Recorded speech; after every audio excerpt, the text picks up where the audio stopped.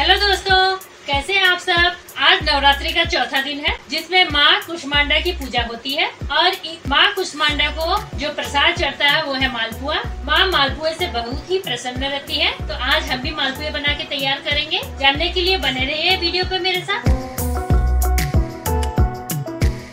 चलिए तो करते हैं चौथे दिन के प्रसाद की तैयारी। सबसे पहले हम बाउल में लेंगे एक कप आटा।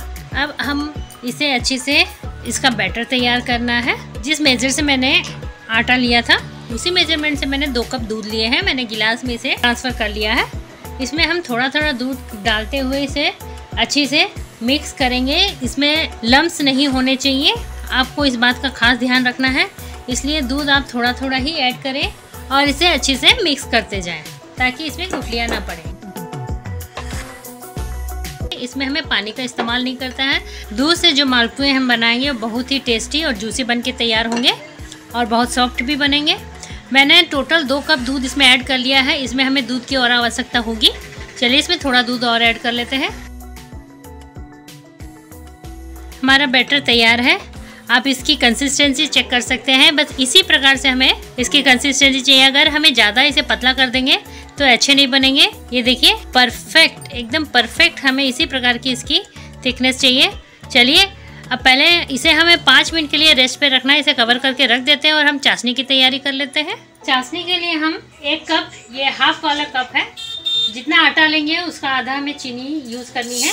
जितना आटा है, उसकी हाफ़ चीनी। ये हाफ़ कप मैंने चीनी ऐड की है और इसमें हाफ़ ही कप में पानी ऐड करूँगी। हम दोनों चीज़ों को अच्छे से मिक्स कर लेना है। जब चीनी मेल्ट हो जाएगी, हमें तार की चाशनी नहीं चाहिए, हमें चिपचिपी सी चाशनी चाहिए। चीनी हमारी मेल्ट होने शुरू हो गई देखिए। दो से तीन मिनट में चाशनी तैयार हो जाएगी। इसे अच्छे से हमें स्टर कर लेना है। आप चाहें तो चाशनी के अंदर केसर ऐड कर सकते हैं। ये देखिए, चाशनी हमारी एकदम तैयार हो चुकी है। आप देख सक रहे हैं। तार आपको लग रहा है जैसे तार बनना शुरू हो गया है। ये देखिए हमारी एकदम चिपचिपी सी चाशनी तैयार है। बस ऐसी चाशनी हमें बना के तैयार करनी है, जो हाथों में लेने से थोड़ी सी चिपचिपी सी लगे। देखिए। बस इसी स्टेज पे हमें फ्लेम को ऑफ़ कर देना है। हमने घी को गर्म होने के लिए रख दिया है और आप इसका बैटर चेक कर सकते हैं। मैंने इसे पाँच मिनट के लिए और फेंट लिया था। देखिए। बस इस प्रकार से इसकी कंसिस्टेंसी होनी चाहिए। देखिए, मैंने कर्ची पे इसे लगाया है। तो ये इस प्रकार से मैंने जब हाथों से इसे पोछ रहे हैं तो इस प्रकार से इसकी थिकनेस होनी चाहिए। और इसके बाद हम इसे अच्छे से पाँच मिनट के लिए फेंट लिया है। इससे हमारे सॉफ्ट और बढ़िया मालपुए बनेंगे। और मालपुओं की एक खास बात है, पहले आप इस प्रकार से बैटर बनाएँ और घी में इसे डालें। जब आपके, आपको लगे परफेक्ट मालपुए बने हैं, तब हमें इसमें और दूध की आवश्यकता नहीं पड़ेगी। अगर हमें इसमें दूध की आवश्यकता लगी तो हम और ऐड करेंगे। चलिए मालपुए बना लेते हैं। हमें मालपुए इस प्रकार की कड़छी से ही बनाने हैं।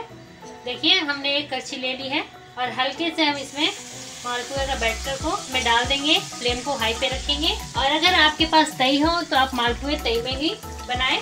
मैं इस प्रकार की कढ़ाई में आज पहली बार बना रही हूँ। मैं भी इसे ट्राई ही कर रही हूँ। अब ये परफेक्ट मालपुए बन गए हैं। इसमें मैंने टोटल पौने तीन कप दूध का इस्तेमाल किया है। इसे पलट लेते हैं और इसे अच्छे से सेक लेते हैं। फ्लेम को अब थोड़ा लो कर लेंगे। और इसे सीखने देते हैं। इसी तरह हम सभी मालपुए बना के तैयार कर लेंगे। मालपुए सभी सभी मालपुए हो चुके हैं, ये हम निकाल लेंगे। उसके बाद हम चाशनी को थोड़ी सी गर्म कर लेंगे।